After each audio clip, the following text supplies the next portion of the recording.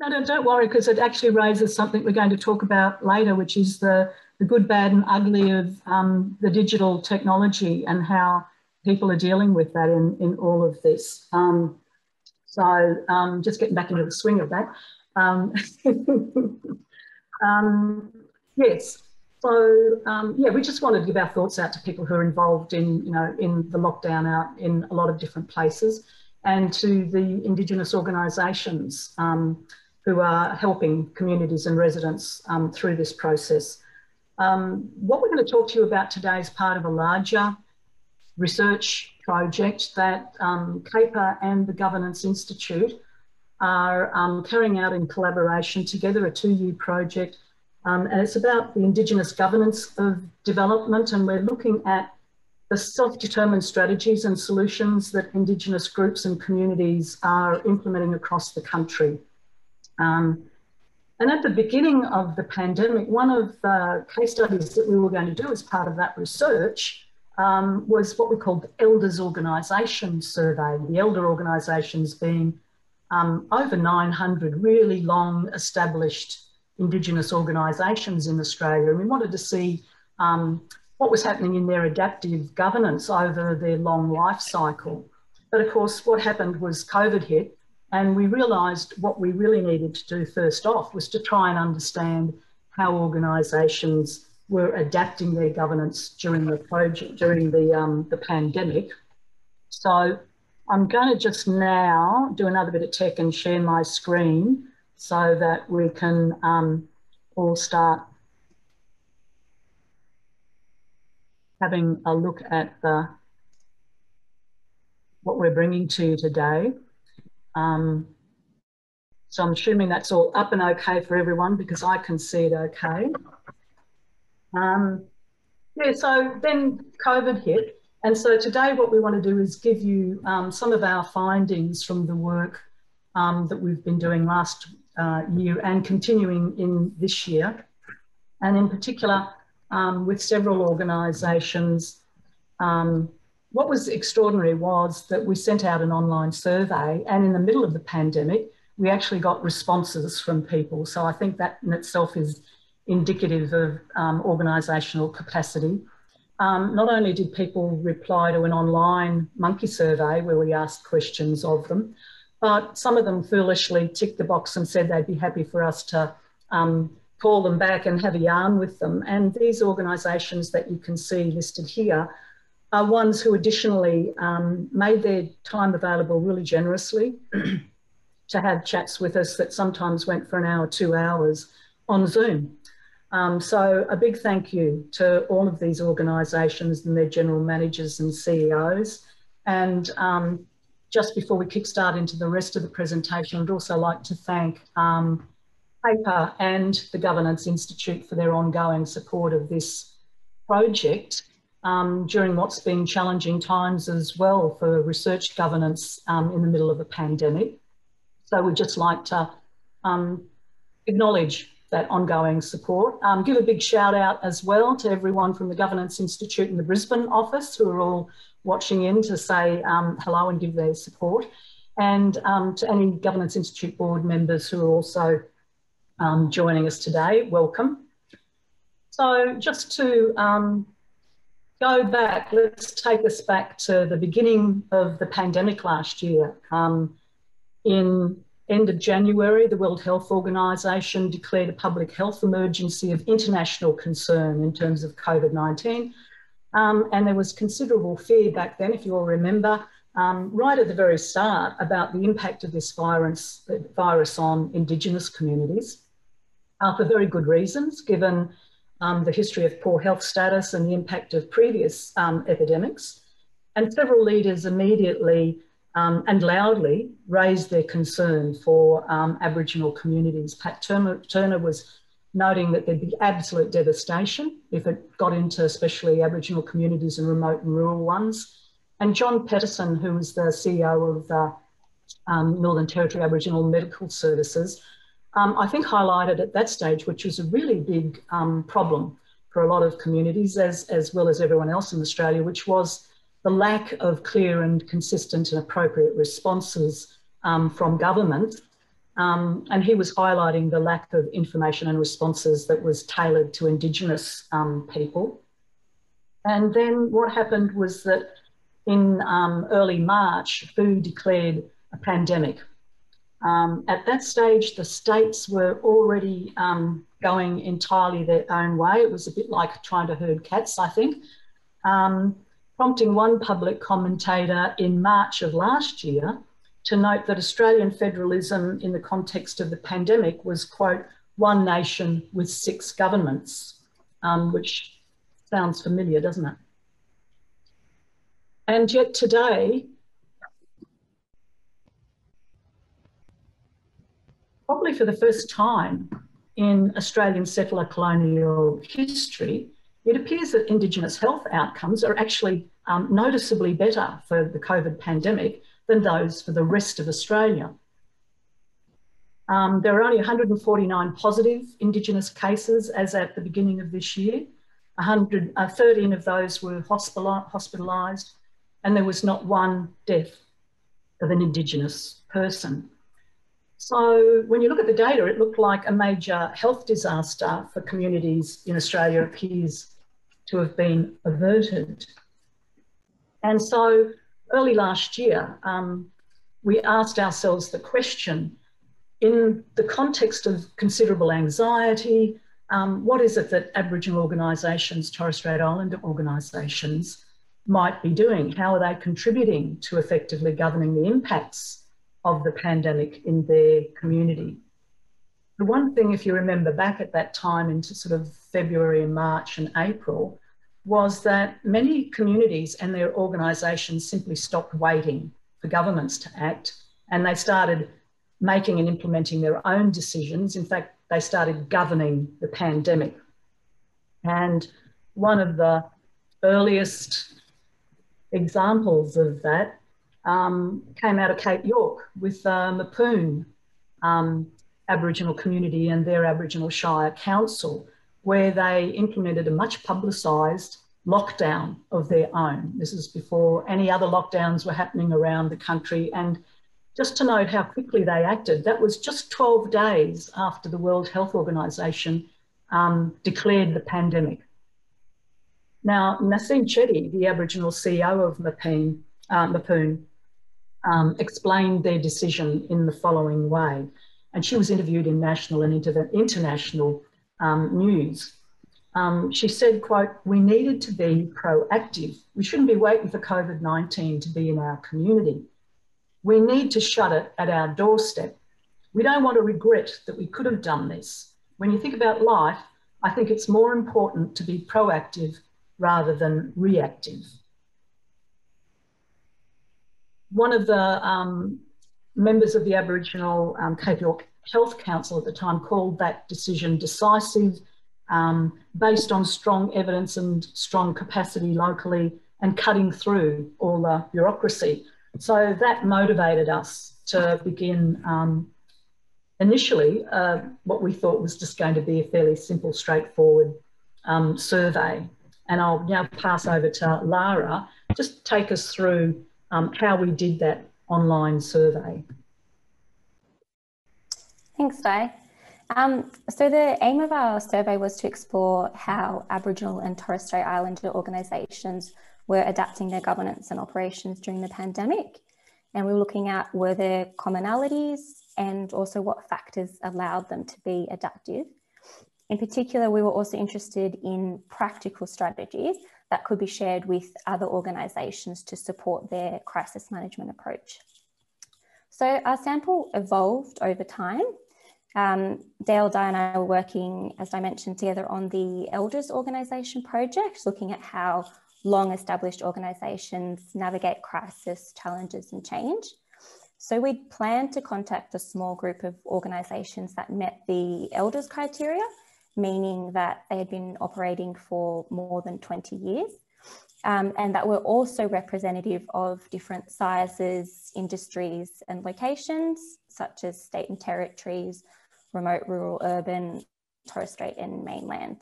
Um, we were looking for these organisations from past finalists of the Indigenous Governance Awards program, The awards were established by Reconciliation Australia and the BHP Foundation to celebrate examples of successful governance in Indigenous organisations around the country, and AIGI is now a co-host of the awards program.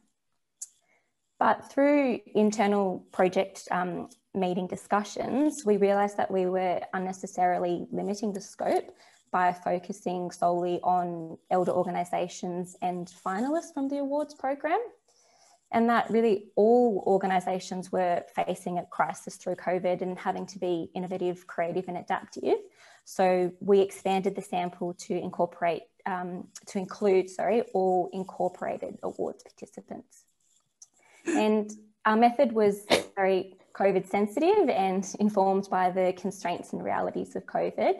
So it really obviously wasn't feasible for us to travel or meet with people face to face. So we created an online survey through SurveyMonkey, and then we held follow-up chats via Zoom. Okay, so a bit more information about the survey and the Zooms. Um, the survey was divided into six topics, which were about the organisation, background information about the board, how they adapted to challenges, building on strengths, helpful resources and looking to the future. There were 34 questions in total, which we now recognise as definitely too long. And this is a learning which will inform how we design our next survey for the Elder Organisations project. Um, the first, the very first question on the survey was consent to participate. And the survey automatically closed um, and didn't allow them to continue if a participant selected no to consent. We piloted our draft questions with the AIGI staff um, internally, and then we revised all the questions to improve their relevance and clarity based on feedback we received. We chose a combination of question types to obtain both quantitative and qualitative information, and also to try and enhance participant responsiveness. And the, the focus was on governance, obviously, but based on our view that governance is a practice that runs right through an organisation, not something that sits simply right at the top. So people from both the board and executive level were encouraged to participate. In terms of distribution, we sent direct emails to 294 organisations who were participants from the awards program. And then we also promoted it at um, a governance conference and widely through AIGI networks. However, we actually only got responses back from the direct emails.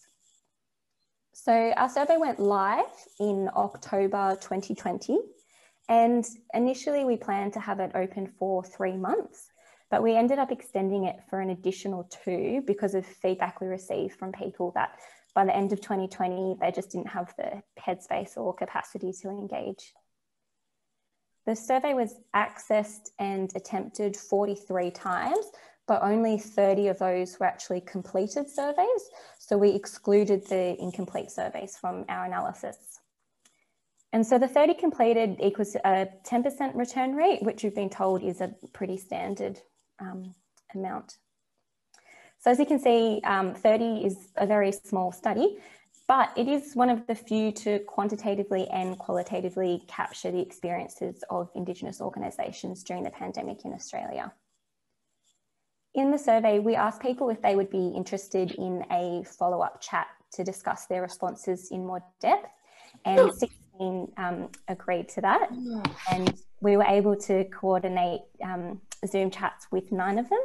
So it was all um, CEOs who were able to participate. And again, I'd just like to reiterate what Di said that um, everyone was incredibly generous with both their time and their insights um, as the interviews went for between one to two hours.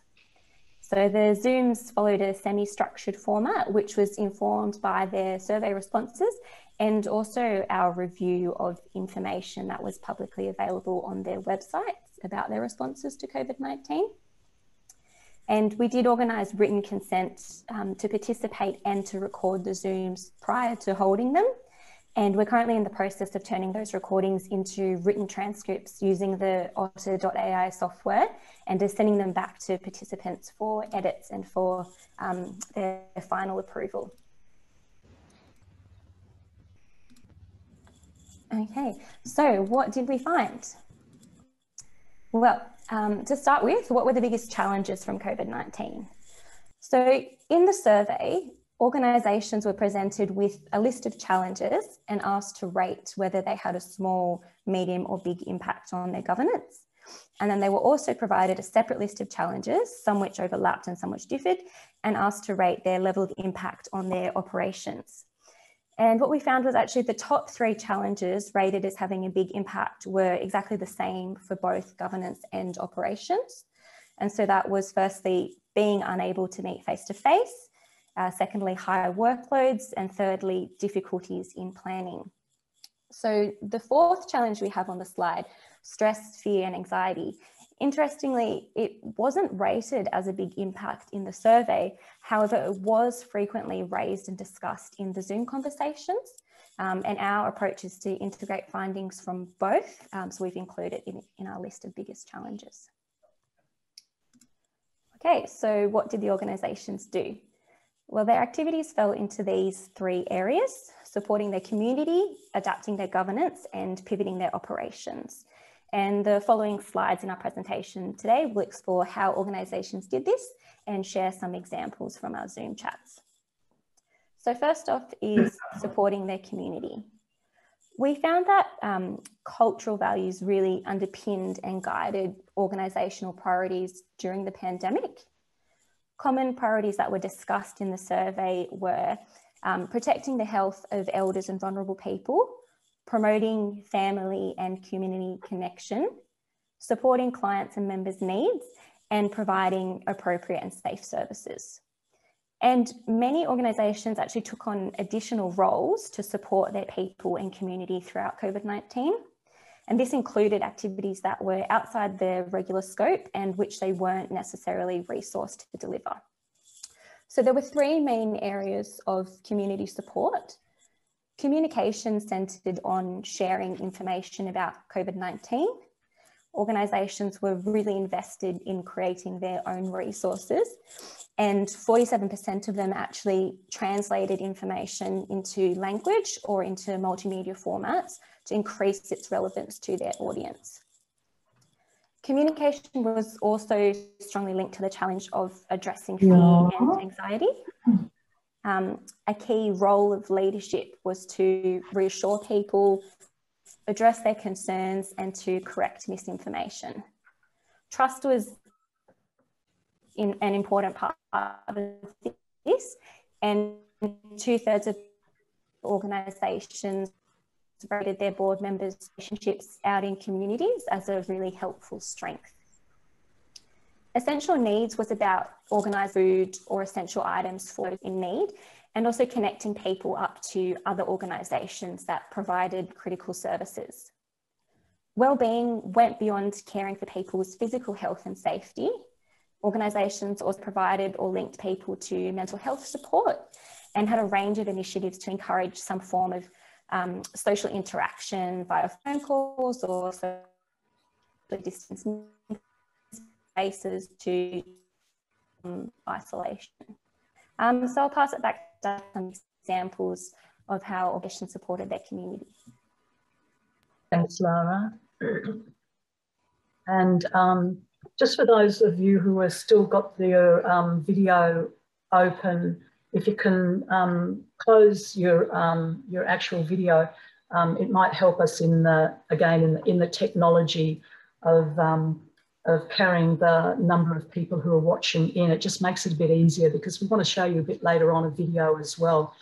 So as Laura said, what, we uh, what we want to do is try and integrate the survey results within the more in-depth conversations that we had um, with people in organisations. Um, and one of the most important, the very first things um, that Laura mentioned um, organisations doing was um, tackling the issue of getting information out in an accurate and meaningful way in um, local contexts.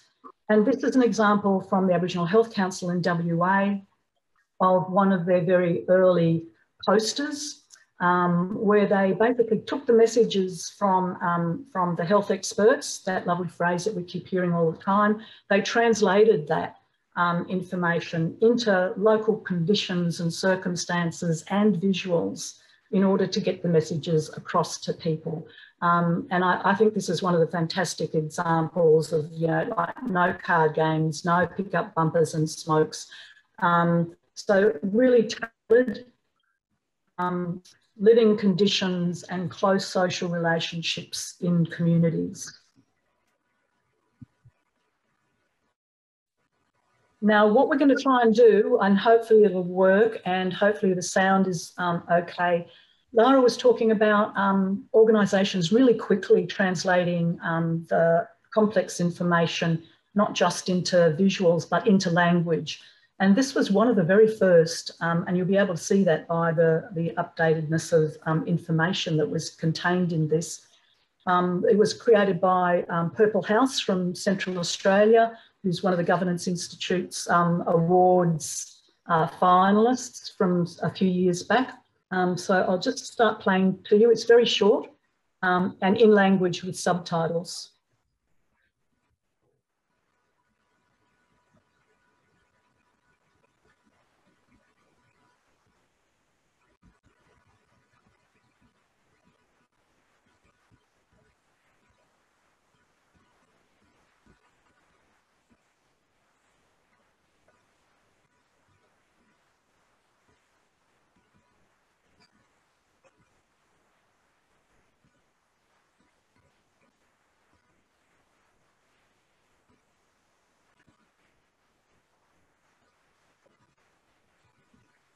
Hi, could you just increase the sound volume, please?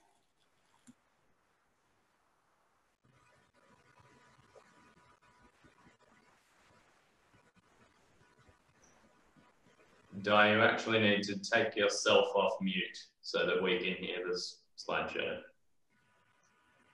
Uh, did you not hear any of that? Will I take it back? No, we couldn't hear it. Okay.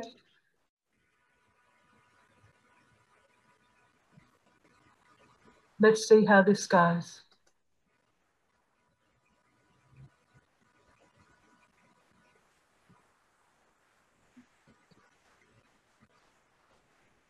Is that okay? No, it's still not coming through. Maybe if you change the audio setting um, that we found yesterday. I, I think it's actually the um, when you share your screen, there's a there's a I think there's something there where you say share the sound as well um, when you initially share the screen. And if you don't do that, it doesn't come through. Okay, I've just shared screen and shared sound. So let's see. Yeah, that's it.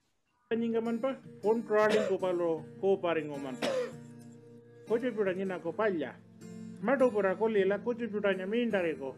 na yan kunja ko. Yus pila koro, yandango ilupa yang ranyi karana faras nga palola, minta kuya lengko, alaji nga palonya min minta nga palonya. Yandango, silpi, ulkumano, palu jananya dara mato pura, anda jako, minda nga palu jananya pungku yang mara, kuchupa ngaranyi, palu cutanya, paluro punganyi, pika nga paluro. Pika eni palu coronavirus, chataringo, ngurayurung kaparari, Oh. kuari pika baloro ngajal pi ngana bang orang kan pi pampur no balo australia pi hela hela do cinto kucu pa kucu bangka yang nang ta pika balo nya mencini ya. Karena virus balo nya ngana na riri ringkola Cukro ringkola kulin jago, patan jago, purno palo pika kuya palu pampul paing barang nampang ura. Yana ungu, pika palo nya coronavirus palo nya markol ku, alaji palo nya mara palchila nyundo pa supanga kapinga mara nyundo pa palchila panya yuru nurun pa nyundo mangari ngalkul kijango yanku kija nyundo toli ragoro mara palchila illa telato nyundo ku parengula wita wanira nyundo parpa dongko nyundo pa mara palchila nyundo ngayana nyi warka ngoro o kula ngoro nguragodo wanja juda na chungurin mara nyundo pa palchila panya nguragodo we a jago, yang yannango kucoba kucoba koro.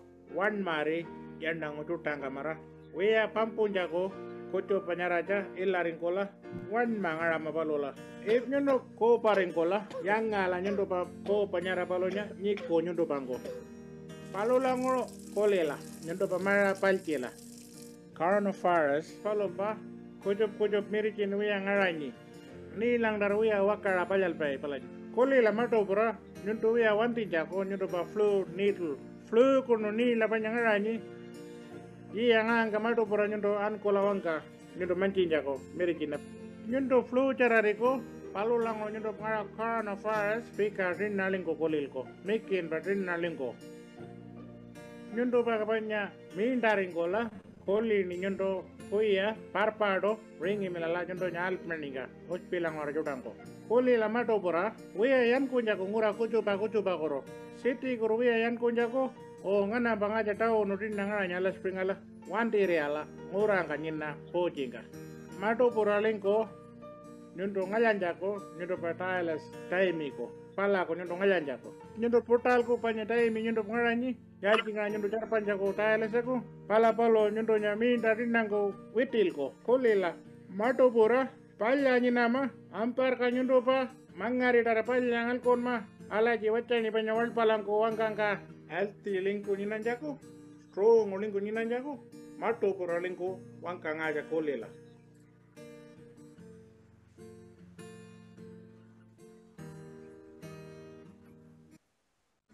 Um, that I think is a fantastic um, example of the way Aboriginal organisations, and this wasn't just a one-off across the country, were doing language translations and often on videos um, using um, local translators and local Aboriginal video teams.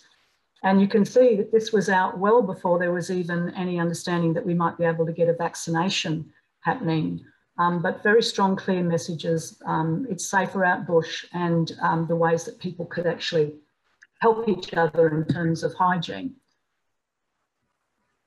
Another um, example of um, the community outreach um, that organisations were doing around the countryside, I think another really interesting example comes from the Kimberleys in Western Australia um, with KALACC, the Kimberley Aboriginal Law and Culture Centre. And, and back in those early um, several first months of the pandemic, remember there was a lot of discussion about trying to get um, Aboriginal people who are in towns back out to their own home communities. Um, what that meant for a very small community in um, the Kimberleys, um, Balgo, was that um, about 50 Aboriginal people from around the Kimberleys and as far away as Perth were repatriated back to the community. Um, and that it's a small community, so 50 additional people is um, a big a big incoming um, number. At the same time, there were a group of Warlpiri doing business out in the desert when they heard about the lockdown and the virus um, and its impacts in terms of quarantine. They immediately headed into Balgo, which was the nearest community to them the influx of um, people in Balgo put huge pressures on um, overcrowding in housing, on food security, high risks of transmission. And there was a lot of concern um, by KALACC and by the Balgo Council um, for the health and safety, especially of elders. So leaders in Balgo and um, in conjunction with KALACC went on um, into action and decided to reactivate a number of the smaller outstations around Balgo into what they called arcs or safe spaces that elders could um, take themselves away from Balgo, lessen the overcrowding and move back out further onto country. But a number of those outstations really didn't have um, essential amenities, kitchens and um, water supply. So in the midst of the pandemic, um, just reached out across Western Australia and activated partnerships, one successfully with Bunnings. Um, and Bunnings donated uh, generators and building equipment um, that was basically transported up to the community um, in order to try and progress the work on those outstations.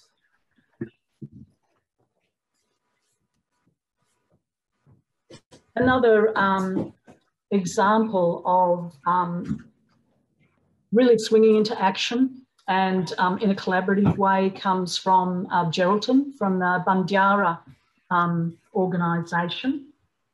Um, in the early phase of the pandemic, um, Bundiyarra coordinated and joined forces with the Midwest Employment and Economic Development Aboriginal Corporation, with the Geraldton Aboriginal Streetwork Corporation, and the Aboriginal Biodiversity Conservation Foundation for the purposes of pulling together um, emergency relief packages um, that had cleaning and sanitary products and food, um, initially to people in the town who um, were really struggling in terms of food and the kinds of equipment that they needed to stay safe.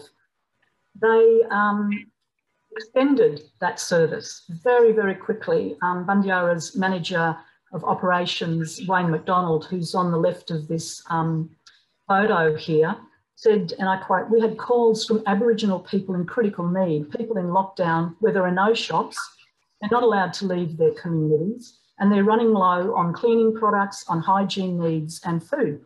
So everyone pulled together to get food and essentials out to all our mobs in the region.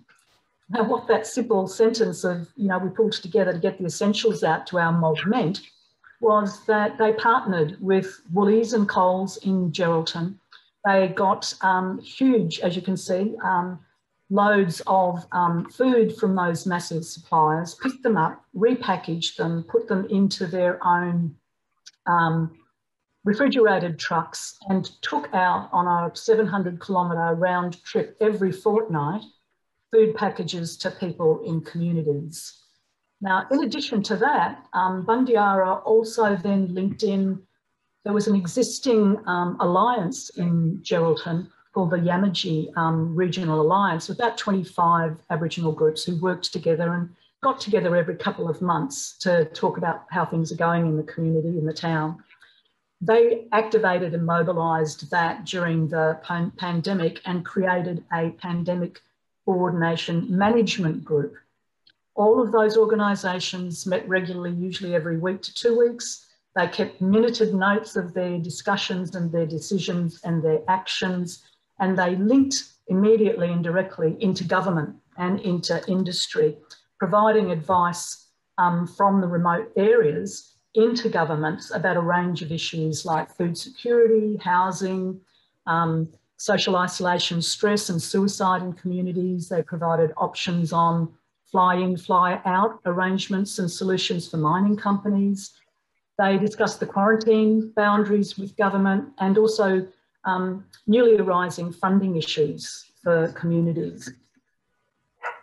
Another aspect of um, the work that organisations did in reaching out um, was the issue of community residents' mental health. Um, and there was, um, this was an area of um, use of the digital technology where people increasingly use that as a way of looking after um, their clients and community residents. And um, organisations across the country are making enormous efforts in, in this way. Um, in one sector, which we often don't hear a lot, there were some really interesting innovations made, and that's the arts and theatre sector. And um, in our discussions with um, Yirra Yaakin, they were doing some really exciting things to try and um, pull together the Aboriginal artists in the city who were all in quarantine, couldn't come out of their houses. How can we actually encourage and support their creative endeavours?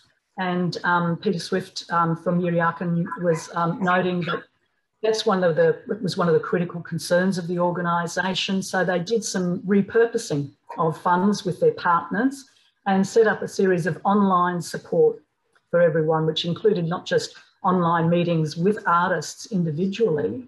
They got some new projects up and going for them, one of which was a play club, not a Sesame Street play club, but an actual performance play where people could go online together and read out the scripts that they were developing for plays to each other and get feedback.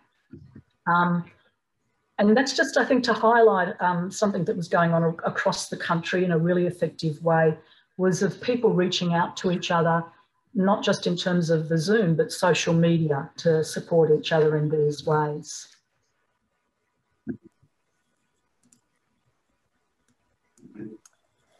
So as Di just demonstrated, organisations were coordinated with their contacts and partners to develop ways to support their clients, members and the wider community. The survey showed us that organisations also shared their resources um, as well as their strategies for operating in a COVID-19 world with each other. And good relationships with local government, service providers, organisations, and community leaders were reported as a cultural strength. Further, organisations explained that these relationships provided them not only with advice, but also with a shoulder to lean on, mutual understanding, and an allied front on issues. I'll pass back to Di to talk a little more about this. Um, I think one of the points coming out here from some of the examples and, and what Lara was drawing out from the, from the survey is that Indigenous organisations are not social or cultural isolates. They're thickly integrated into the wider networked webs of their member communities, groups and families, and the kinship relationships that are involved in that. And whilst that's not um, a new insight, um, in fact, um, I think that the thing that is a new insight is that often that very embeddedness is portrayed negatively by governments and the public media. Um, and indeed, it can present challenges to Indigenous organisations that they talk about themselves. But in the case of the pandemic, the substantial benefits for organisations being embedded in this relationality became so much clearer.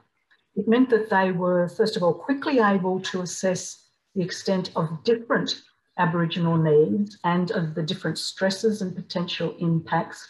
And because of their local knowledge, they were able to realistically assess risk and potential impacts. What that meant was that, that they were able to design customised solutions and take action very quickly. Um, it also, I think, enabled them to um, avoid um, what you often see in large institutions and the bureaucracy, which increasingly these days is a risk paralysis. Um, organisations, Indigenous organisations, did not, the ones that we've talked to, and so they did not seem to suffer risk paralysis and analysis. They actually were able to take action very quickly because of their embeddedness.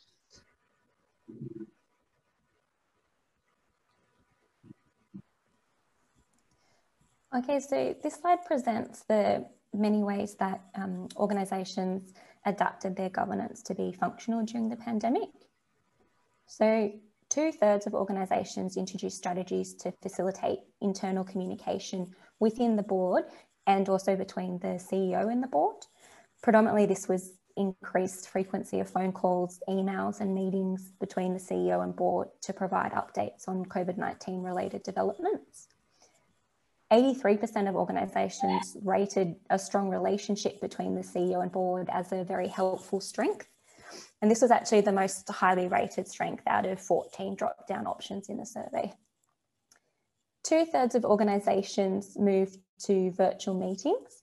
This included a mixture of teleconference, video conference, and hybrid, meaning that some directors attended in person while others joined via Zoom. Organisations quickly implemented board endorsed COVID 19 response plans and policies. It worked best for those who preemptively had a crisis management plan in place to kickstart the process. Um, as one participant explained, it helped them to reduce the level of chaos as roles, responsibilities, and the chain of command were clearly defined for them already. Organisations also streamlined their board matters and reporting to avoid information overload and to focus on the crisis at hand. This usually involved postponing strategic planning and general business to prioritise pandemic related issues. Um, for example, the status of COVID 19 in their state of territory, updates on their organisational response, employee health and safety, or funding. Several organisations found appointing an interim executive subcommittee was a really effective way to maintain governance and decision making throughout the crisis. So these committees usually comprised of the board chair, the CEO, and of other senior executives. So it meant that decisions could be made on urgent matters out of session, and then the board provided with a full update at their subsequent meeting. Some other organisations use circulating resolutions to achieve the same thing. Two thirds of organisations rated an, um, a united organisational vision as a very helpful strength. Focusing on their purpose, goals, and values help to guide organisations when making changes or plans in response to the crisis And it also helped them to feel more confident in the decisions that they made. So next I will share some examples of adaptive governance from our interviews. Yeah, so just um, some examples of how those um, issues played out on the, um, the ground. One of the things that really loomed large um, during the pandemic and, and won't um, go away, I don't think, is, is what we call e-governance. Um, how people are actually using technology um, in terms of governing their organisation to be able to do the job that they want to do. Um, we found it really particularly interesting. There's some interesting examples about um, the way um, CEOs and general managers worked with their boards and chairs of boards over this time and used um, uh, technology. In particular, you know, we all had to get to grips with Zoom as we have had today. Um, and uh, one uh, CEO noted that it was an advantage being able to use Zoom during the pandemic for the board and committee because at times when board members were either in lockdown, social isolation, or even if they weren't, were very reluctant to travel long distances away from home, then it meant that they were able to achieve the board meeting, get through business, um, the papers were able to go up online, they could share data and information, um, and in some instances, it meant that the chair of the meeting was able to run things more effectively and actually have the meeting happen a bit quicker. Um, another example given by a very small organisation with a small um, membership was that um, being able to use Zoom in that way with um, dispersed board members meant that it, they probably had the best attended AGM um, that they've had in a long time via Zoom. So people were able to make um, novel and timely changes as to their governing and operational services and redeploy staff and resources at short notice um, and also justify those changes as not only being necessary but having um, a base in cultural integrity and for the good of um, community members. Um, and it extended beyond um, the board, the use of technology, um, one of uh, the people that we spoke to in the organisations um, pointed out how important the Zoom was to be able to actually link in and have regular meetings still with quite important um, committees that organisation had, in particular its financial um, advisory committee, and basically noting that because they were able to do that via Zoom, it meant that they were able to keep an eye on um, things as they were developing, anything that affected the financial bottom line of the organisation they were able to get on top of very quickly. So many organisations introduced or greatly accelerated their use of new communications um, apps and technology. One of the things I think um, that's quite interesting in terms of the way people um, reshaped or pivoted, as Lara likes to say, um, the relationship um, between board chairs and CEOs was, I think there was a, a, people were starting to develop and still have a slightly different way of working together. Um, so CEOs, general managers and the chairs of boards were really having regular um, weekly, sometimes daily conversations that went beyond the um, mantra of Western governance of the separation of powers. You know, you're not, you, you shouldn't really be stepping over the line of the roles and responsibilities. During the pandemic, we noticed that there was a much more braided, woven mode of decision making that was happening together between general managers, CEOs, and chairs on a much more frequent basis. Um, and establishing, as Lara was saying, um, subcommittees, they became in effect hubs for crisis management. And one of the interesting characteristics of those hubs was that rather than following the pipeline structure of most organisations in terms of chain of command, a number of those hubs actually extended across distributed decision making across the structural divisions of board, management and senior staff and often um, other staff in order to be able to get decisions made and then mobilise them very um, quickly. So they got rid of um, a, a lot of the hierarchy associated with more structured organisations.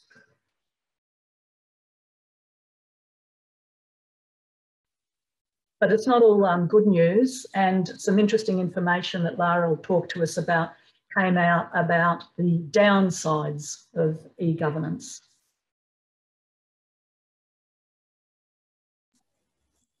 Yeah, so um, what came out of the survey was that organisations held quite varied views actually about the efficacy of face to face meetings versus virtual board meetings. Mm. So for some, it showed that their board could be just as effective in virtual meetings as face to face, and that in person meetings aren't always required to get business done. And for some, it actually, um, they actually discovered that there were governance advantages to meeting online, as I was saying, as more directors were able to attend via video conference than had been the case prior to COVID. Um, and in those instances, it actually improved engagement and decision making. Um, however, others felt that nothing could effectively replace face to face and that virtual meetings pose challenges for maintaining good governance standards and also um, for cultural governance. In addition to that, um, some organisations experienced barriers that were just completely out of their control, such as non-existent mobile and internet reception or poor connectivity. Um, one organisation was explaining that the inferior IT network structure created serious delays in slowness regarding communication, decision making and their approvals processes. Um, and another raised the point that effective communication via technology is a two-way street and that even though their um, organisation had set up really good capacity, they still had difficulty communicating with their clients because many of their clients had low technological skills, which meant um, limited ability to connect with them fully.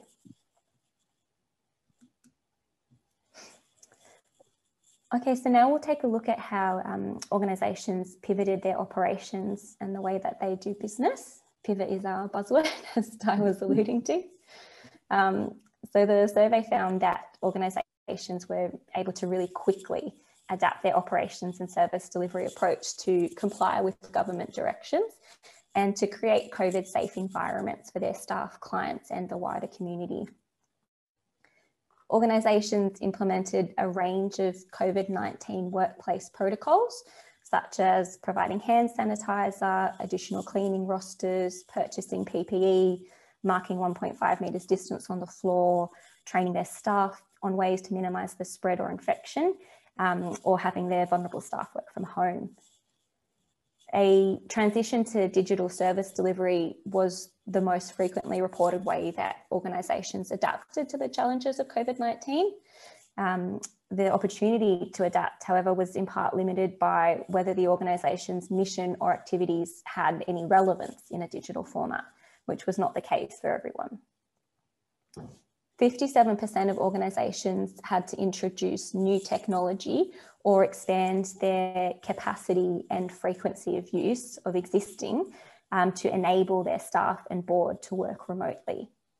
They also provided them with IT training and support to help people adjust to conducting business more virtually and to strengthen their digital literacy. Um, however, 23% of organisations reported um, a strong investment in tech prior to COVID-19 and they didn't actually need to introduce anything further the ones that already used online platforms to communicate and to collaborate on documents with their teams had a really easy transition to working from home and reported minimal disruption. Organisations tried to keep their staff feeling informed and valued by sharing frequent updates with them and hosting online catch-ups, check-ins and social activities.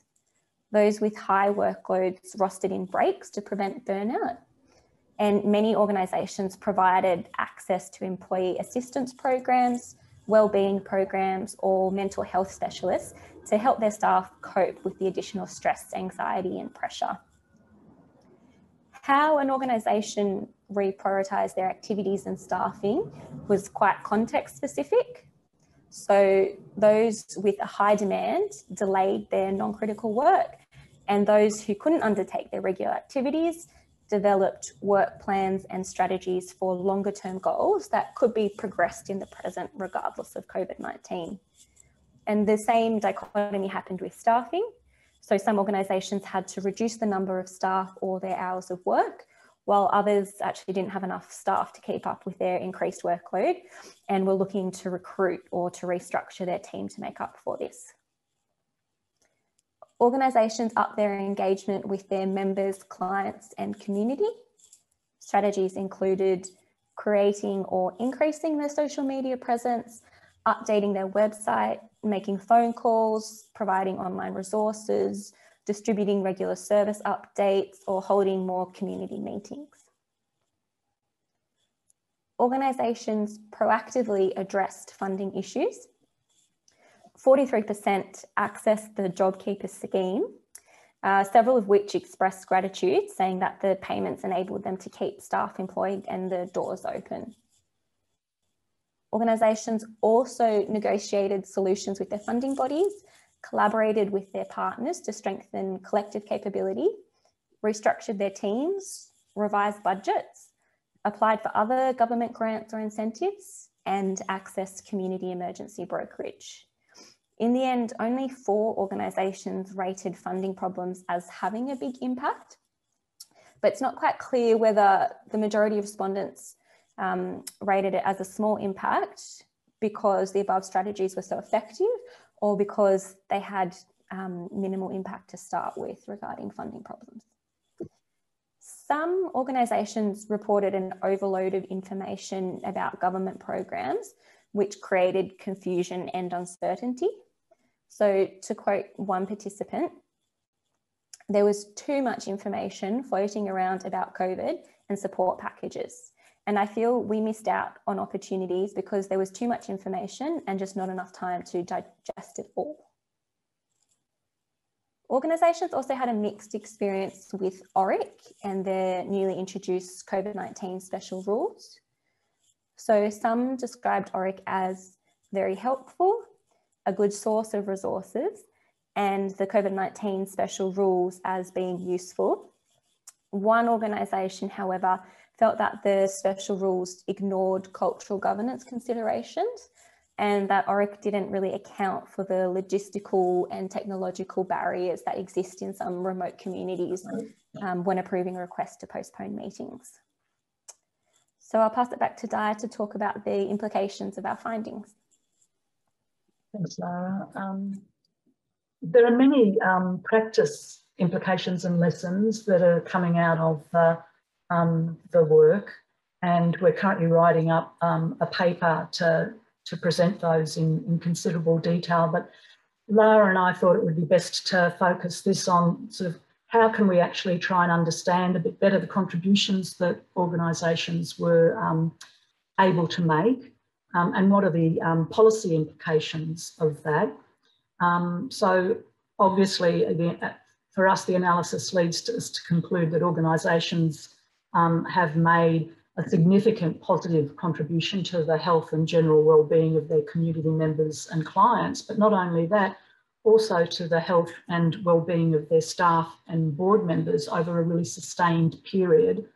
Um, in this, um, we see organisations as acting as adaptive agents, strategically assessing and reshaping their governance and operational areas to deliver critical outcomes in a really timely way during the crisis.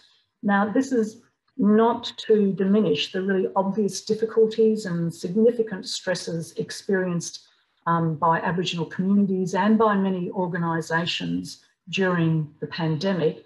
Rather, it's um, to note that in the midst of those dire fears and challenges, that many Indigenous organisations were able to marshal a very Indigenous capability for adaptive self-determination and to quite positive effect. So we want to just talk very quickly about this concept of adaptive capabilities and its link to self-determination. By adaptive capability, we mean an organisation's overall systemic ability to recognise and adjust to risk and harm in a productive way. Um, but it's more than simply the sum of the individuals in the organisation or the different structural units of an organisation. Um, it's a whole of organisation ability. Doesn't, that doesn't sound all that kind of, you know, dramatic, but when you think about capabilities and the research done to date, it often focuses on the role of individuals. Um, slowly, people are starting to talk about collective capabilities. I think what we're um, concluding from this work is that organisations have a collective capability set um, and that for Indigenous organisations, self-determination lies at the heart of that collective capability. And it's when we think about self-determination, we often hear it more spoken about in the context of being a right. Um, what we saw in these organisations during the pandemic was that self-determination is a culturally situated practice, a way of actually doing things day to day, not some um, future right or future way of doing things.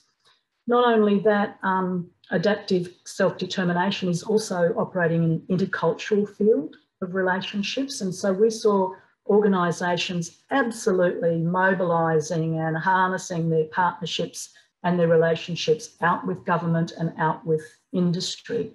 So uh, the combination of this adaptive capability um, combines to form what we call a cultural capital for action by um, organisations. And we want to pose this um, concept or term of adaptive self-determination um, because we think it helps us understand uh, the wide range of things that people were doing and how they were doing it. And we define adaptive self-determination as this collective um, capability of the organisations who are freely determined, autonomously exercising power, taking responsibility for decision making in times of crisis and high risk, that then enables them to take agile action to modify their governing and operational arrangements in strategic novel ways, but especially in contexts when the evidence is unclear and often contradictory. Um, another thing that we note is that this adaptive self-determination capability is not a new thing in Indigenous organisations. In fact, you could argue it's always been there.